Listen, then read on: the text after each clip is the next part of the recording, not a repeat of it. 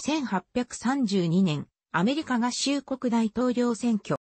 1832年、アメリカ合衆国大統領選挙。1832年、アメリカ合衆国大統領選挙は、民主党の候補者、アンドリュー・ジャクソンが、ケンタッキー州出身のヘンリー・クレイに対して、容易に再選を果たした。ジャクソンは選挙人、票286票のうち219票を獲得し、国民共和党候補者、ヘンリー・クレイ、ハンメイソン党候補者、ウィリアム・ワートの挑戦を退けた。ジョン・フロイドは候補者ではなかったが、サウスカロライナ州の選挙人票を得た。この選挙は、ニューヨーク州出身のマーティン・バン・ビューレンにとって最初の国政選挙となり、ジョン・カルフーンを継いで副大統領に当選し、さらに4年後にはジャクソンを継いで大統領に行った。しかし副大統領になることについては党内に反対の声があり、その結果ペンシルベニア州の選挙人30票は、同州生まれのウィリアム・ウィルキンスに流れた。1824年、アメリカ合衆国大統領選挙における連邦議会指名集会が破綻をきたし、その後には空白をもたらした。大統領候補者を指名する国政レベルの制度的なものはなかった。この空白は新しい政党の誕生によって埋められた。アメリカ合衆国の歴史で初めて候補者が全国的な集会で選ばれた。最初の国民集会は1831年9月にメリーランド州ボルティモアで開催された反依存党のものであった。国民共和党と民主党はすぐにそれを真似し、やはりボルティモアで開催した。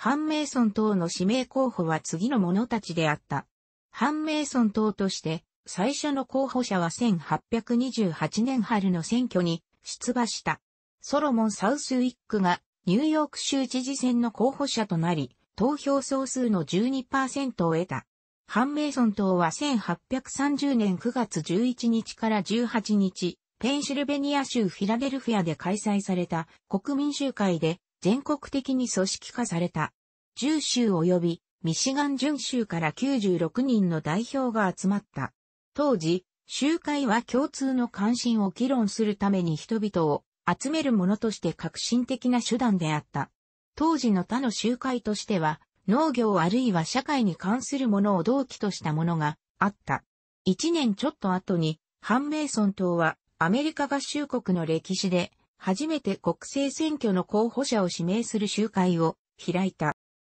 ハンメイソン党の最初の指名集会は1831年9月16日から28日まで、ボルティモアのアセネウム公共図書館で開かれた。この時は13州、メリーランド州とデラウェア州以外はすべて自由州から11名の代表が出席した。集会が公式に開催される前の数日間、代表たちはドアを閉めて会合し、いくつかの最初の決議を行った。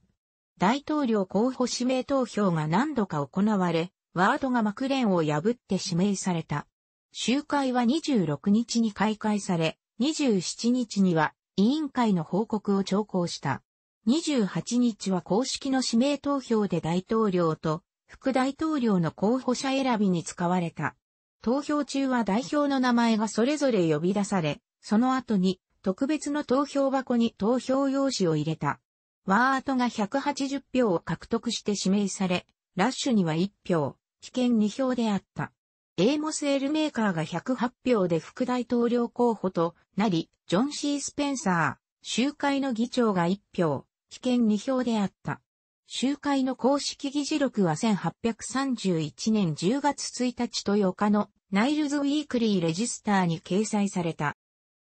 ハンメイソン党が国民集会を開いてから間もなく、ヘンリー・クレイの支持者たちが国民共和党の国民集会を要求した。集会の目的は公式にクレイを指名し、その副大統領候補として出馬する者を選ぶことであった。集会は1831年12月12日から15日まで、ボルティモアのアセネウムで開催された。会期の冒頭には17州とコロンビア特別区からの代表130人が出席した。集会となるまでに他にも代表が到着した。6つの州は代表を送らなかったが、そのうち4つは新南部であった。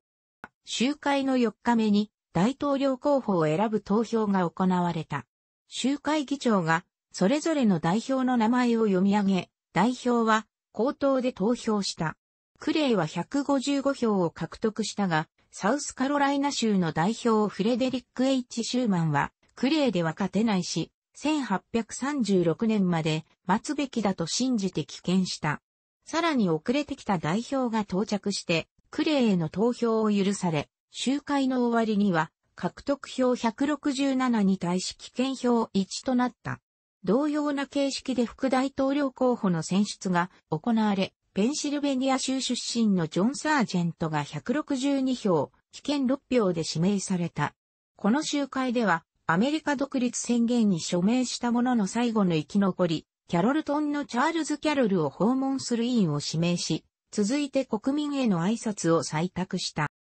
ジャクソン大統領とジョン・カルフン副大統領は問題を抱えた関係にあった。の後で国務長官バンビューレンと陸軍長官ジョン・イー・イートンが1831年4月に職を辞し、ジャクソンは全閣僚にも辞職を要求した。バンビューレンは内閣からカルフーンの支持者を排除する手段としてこの方法を仕掛けた。